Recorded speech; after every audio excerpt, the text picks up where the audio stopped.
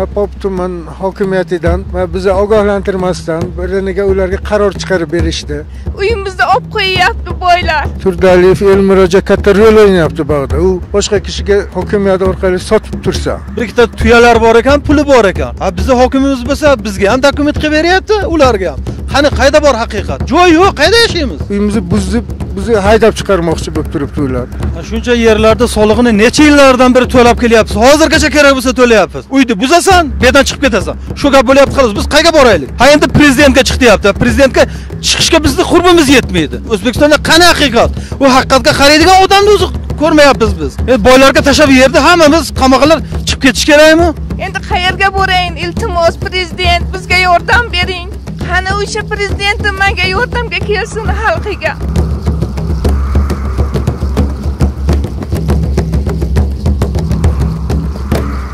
Alo assalomu alaykum. Mana shu ko'rib turgan bog'ni meni xudo rahmatli dadam ellik oltinchi yili fevral yo'li qurilishiga qatnab shu yerga ko'chib kelganlar. Man ham mana shu yerda ellik to'qqizinchi yili shu yerda tug'ilganman. Hozir mana oltmish uchga to'lib shuncha ukalarim dadam ham bir ming to'qqiz yuz yetmish birinchi yili bandalik qildilar. Undan keyin ukam e, onam ukam hammamiz birgalikda obodlashtirish uchun daraxt ekdik nima qildik? U zamonlarda ot eshak juda ko'p edi qo'riqlab mana shu bog'ni yaratdik. Mana hozirgi kunga kelib rayon hokimi boshqa odamga nima chiqarib berib turibdi?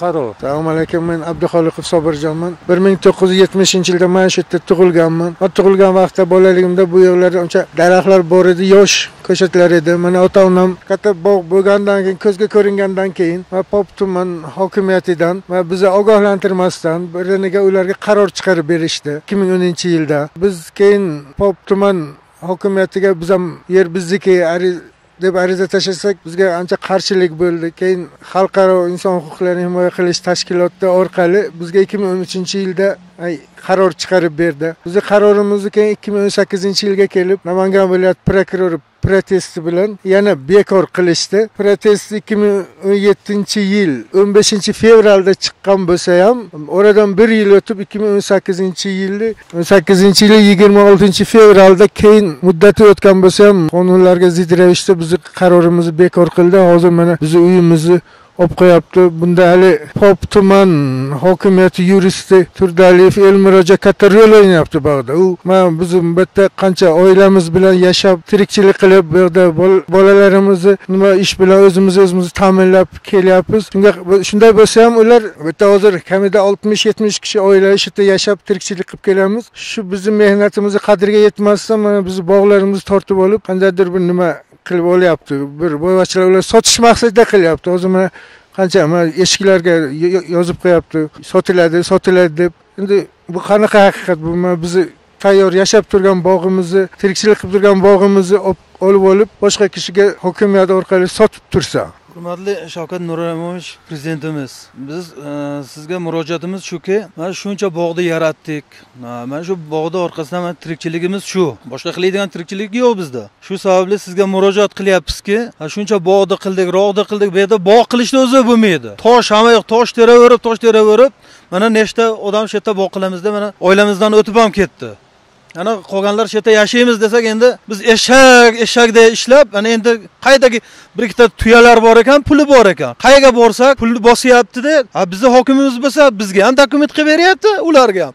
Qani qayda bor haqiqat? Bunga unday qaraydigan odam bormi yo'qmi shu dunyoda? Ha biz nima qilishimiz kerak? Endi shahar chiqib ketib asfaltda yashaymizmi endi? Moshina bosib ketaversin endi boshqa hech qanaqa variant qolmayapti bu yerda. Bizda unday yashashga huquqimiz qolmayapti. Qayerga borishimiz kerak? Qani bizga joy ochib bersin bo'lmasa. Joy yo'q qayerda yashaymiz?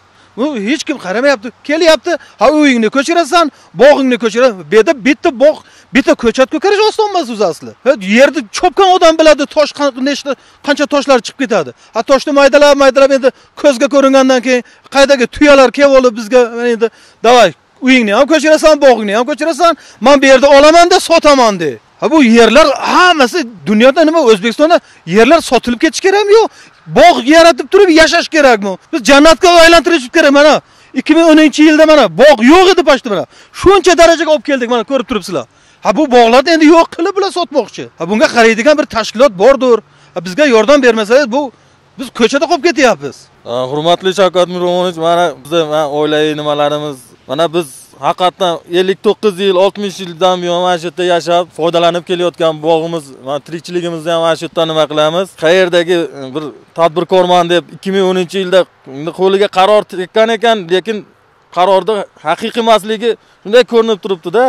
Ko'rinib turibdiki u pop tuman hokimi bizga qarorni chiqarib qizil chiziqlar bilan sizdirib berib ajratilgan yerni namangan viloyat prokurori o'zini yasama nimalari bilan qarorlarimizga bekor qilishga nima qilyaptida? Bunga manimcha aniqlik kiritadigan odam nima kelishi kerak bir. Bizni bir o'n bir yildan buyon sarson qilib aqa baqa yugurtirib bu orqasida korrupsiya turgani ko'rinib turibdi nima bo'lib. Mana biz yerlarni e, ikki ming o'n uchinchi yil kelib turib biz e, bobomdan qolgan yerlarni mana biz kadastr qilib dokumentlashtirib e, o'zlashtirib nima qilganimizdan keyin mana ikki ming o'n sakkizinchi yil prezident farmoni bilan e, noqonuniy qurilgan uylarni dokumentlashtirilsin degan farmon bilan biz dokument qildirganmiz. Uylarimizni kadastr hujjatlari hamma yo'g'i joyida ikki ming o'n yettinchi yilga kelib turib qaydandir tinchlik qurilish degan firmasi paydo bo'lib bizlarni yerimizni ustidan kadastr qilib olyaptida bu qonunga to'g'ri kelmaydigan yerni biz mana bog' qildik obod qildik joy qildik lekin qayerdandir kelib turib uyimizni joyimizni tadbirkorman deb tortib oladigan odamlarga bir chora ko'ringlar. Qonuni qani bu yoqda haqiqat qani korrupsiya korrupsiya yo'qotish kerak deydi. Korrupsiya hamma yoq korrupsiya bo'lib turibdiyu kim yo'qotadi buni? Sarson bo'lib yuraveramizmi biz. Qachongacha yuraveramiz mana bitta yerda nechiga necha kishiga qaror chiqarishi mumkin? Mana tuman hokimiyati bizni uyimiz joyimizga qaror chiqarib uni ustidan yana tinchlik qurilishi mchjga ham qaror chiqaryapti. Orada ular qandaydir puldorlik qilyaptimi bir nima qilyaptimi ular sud sudda sudga berilgan sudda biz ustimizdan g'alaba qozonib bizni uyimizni o'zi buz yana o'zi man yangi yildan boshlab uyni buzishga sudga ariza berganmiz ular hozir. Uyimizni buzib bizni haydab chiqarmoqchi bo'lib turibdi ular. Mana bu shu yer mojarosi bo'yicha sudlar bo'lib o'tdi. ikki ming o'n sakkizinchi yilda namangan viloyat sudi haqiqiy adolatni qaror toptirib bizga yerimizni qaytarib berdi. Ular undan keyin andijon viloyat sudi ham bizga haqiqiy adolatli qaror toptirdi. Bizni yerimizni qaytarib berdi. Undan shundan so'ng hali e, u firma tomonidan oliy sudga murojaat qildi. U karantin vaqti bo'lib qolib shu ikki ming yigirmanchi yilda toshkentda nima ish qildi bilmadik. Shu namangan andijon viloyatlari chiqargan qarorlarni shunday bekor qilib tashladi. Bu qanday bir adolatsizlik bo'ldi bir e, biz o'zimiz ham tushunmay qoldik. Kassatsiya qilib qayta ularga nima qilamiz desak karantin vaqti biz hujjatlarni qabul qilinmaymiz deb qilinmadi. Oradan mana karantinlar sal yumshagandan keyin borganimizda endi muddati o'tdi deb bizni hali arizalarimizni qabul qilmadi oliy sud. Qani bu yoqda bir adolatni bir o'rnatishga bir amaliy yordam berishingizni so'raymiz. Shuncha yerlarda solig'ini necha yillardan beri to'lab kelyapmiz hozirgacha kerak bo'lsa to'layapmiz hech kim bunga qaramayaptiku. Ha bo'pti yer ularga o'tdi to'lamay to'lamanglar demayapti. Olyapti navbari to'la deb kelib uyimizga turib olyapti. Ha shuncha qilgandan keyin uyimizni qoldirib bersin. Nima qayerga ketyapti bu haqiqat? Hech kim ko'rmayapti bu haqiqatni. Ha kimga borsangiz pulni to'la pulni to'la. Hech kim aytmayaptiki soliq to'lamanglar. Yer ularga yo'q unaqa gap ketmayapti. Faqat kelasan bog'ni buzasan uyni buzasan bu yerdan chiqib ketasan. Shu gap bo'lyapti xolos. Biz qayerga boraylik? Biz bu haqiqatga ishonmay ham qo'ydik. Mana kadastr bizga nima qilib berdi? Katastrda alloh taolo mana shunday qilib qo'yibdi kadastr mana kadastr orqali yashab kelyapmiz. Ha katastrga borsak unisiga bor unisiga borsak bunisiga bor. Ha endi prezidentga chiq deyapti prezidentga chiqishga bizni qurbimiz yetmaydi. Ha biz qayerga chiqishimiz kerak endi? Ana shunaqa ko'chib ket bu yerdan desa ko'chib ketishimiz kerakmi? Bundan ortiq o'sha yashashga bu yerda o'zbekistonda qani haqiqat? U haqiqatga qaraydigan odamni o'zi ko'rmayapmiz biz. Mana necha yildan beri mana o'n ikki yildan beri yuguryapmizki hech kim nima qilyapsan demayapti. Otangga bor onangga bor e, bormagan joyimiz qolmadi bizni oxirgi majbur bo'ldik mana hokimiyatga murojaat qilsak ha u deydi unisiga borsak bu deydi. Oxiri toshkentga bor dedi toshkentga borsak ha prezidentga qog'oz qila qog'oz qilaman desak kirishga hech qanaqa nimamiz yo'q ekan bizni vakolatimiz ha bunga kim qarash kerak? Kim yordam berish kerak bizga? Biz to'rma to'ri chiqib ketishimiz kerakmi? Shu o'zbekistonda yashamasdan turib endi e, boylarga tashlab yerni hammamiz qamoqlar chiqib ketish kerakmi? Yerimizni mana tortib olishyapti. Bu uchun nima qilish kerak? Qayerga murojaat qilishni ham bilmayapmiz. Shuncha yil mana kelin bo'lib tushib mana shu yerda bolalarimni katta qilib uyli joyli qildim. Endi qayerga murojaat qilayin endi? Prezidentga borolmasam. Kimga aytishni bilmasam dardimni. Endi qayerga borayin iltimos prezident bizga yordam bering. Uyimizda olib qo'yyapti boylar. Kadastrimiz bor qarorlarimiz bor. Biznikini bekor qilib tashlayapti ular. Kimga murojaat qilaylik endi? Qani adolat? Qani yangi o'zbekiston deb yashayapmiz. Yangi o'zbekiston bizga yordam bersin. Qani o'sha prezidentim menga yordamga kelsin xalqiga? Qachongacha ezilib yashaymiz? 12 yildan beri yuguraman yerimni orqasidan iltimos prezident bizga yordam bering. Mana qurilish nimasi? Mana orol firmasiga 2010 yilda qaror chiqarilgan bo'lsa 2013 e, yilga chiqqan bo'lsa bizga qaror. Qurilish me'yori bo'yicha 3 yilda e, mana bu qurilishni qilib e, joyni nima qilib ular davlat nimasiga topshirishi kerak aslida.